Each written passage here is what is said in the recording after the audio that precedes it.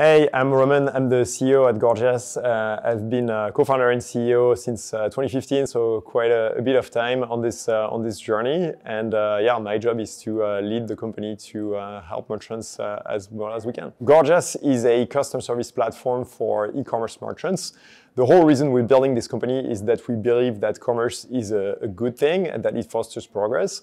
And the people who drive commerce forward are the merchants. What we're trying to do with Gorgias is to make it as easy as possible for entrepreneurs who are launching e-commerce businesses to succeed.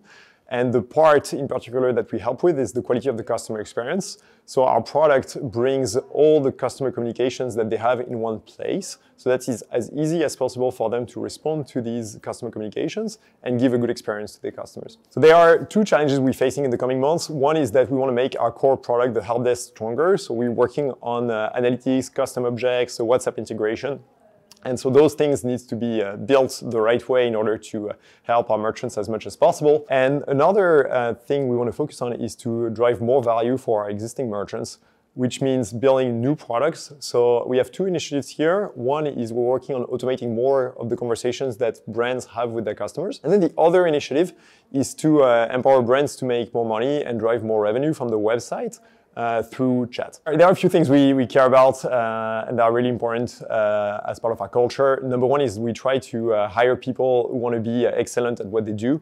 And so that means we're looking for people who are super keen to, to learn and always like go the extra mile to like figure out like what is the next challenge that they want to focus on and what is going to be the next step for their job. So that should be something that's, uh, that's really important to you. And I, can guarantee you if you join the team, you'll, you'll learn a lot.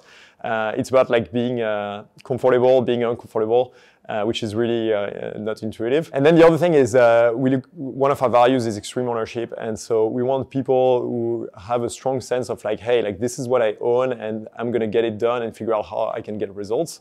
Uh, and so that should also be something that uh, you care deeply about.